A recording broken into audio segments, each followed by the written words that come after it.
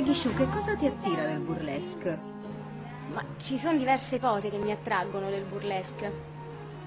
In particolare il fatto che la donna eh, non è una donna sottomessa, anche se gioca a fare la diva, è una donna che domina il, il suo pubblico e che può decidere cosa fare.